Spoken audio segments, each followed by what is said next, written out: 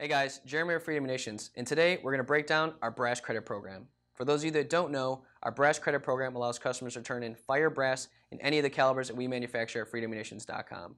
To do this, simply log on to freedommunitions.com and download our brass credit program form. From there, follow the step-by-step instructions labeled on the form.